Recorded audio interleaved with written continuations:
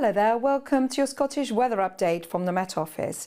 Through the next few days, pretty much a repeat performance. We're chasing cloud, highest temperatures, and the sunniest weather will always be towards the west. And then subtle changes in our weather. All coming in from the south, this area of low pressure has been named Storm Oscar. It's pushing ever northwards, casting its shadow across the UK. And what that means, the air temperature is going to rise, we'll lose the chilly nights, and an increasing chance of some thundery showers moving their way northwards towards Scotland through Saturday and into Sunday. Now through Wednesday evening, it's fine towards the west, but you can see this cloud just drifting across the skies.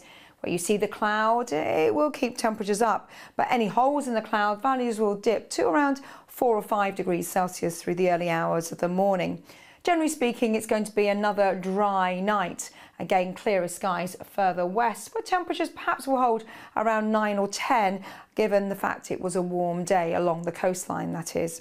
First thing then on Thursday morning, we can pick up on that cloud. Again, some brighter weather across the Western Isles, and then through the day, the cloud will gradually break up in situ and thin as it pushes towards the east. So a few mechanisms uh, in force here, and what that means a chance of some brighter weather through the afternoon, certainly some sunnier skies just emerging. We hang on to more cloud across Aberdeenshire, and that's perhaps where the lowest temperatures will be, struggling to reach 12 or 13 degrees Celsius along the coast. But inland and towards the west, we'll see a 22. Now, through Thursday evening and overnight, it's pretty much a repeat performance. And yet again, where you see clearer skies inland, temperatures could dip to around 5 or 6 degrees Celsius.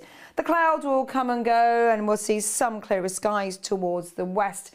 And what that means into Friday morning, a bright start for some, a bit cool inland, and this cloud yet again will be stubborn towards the northeast.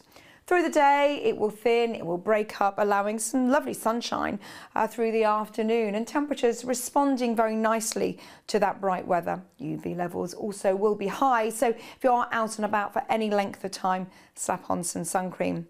Let's pick up on that showery rain, those thunderstorms which have been migrating northwards.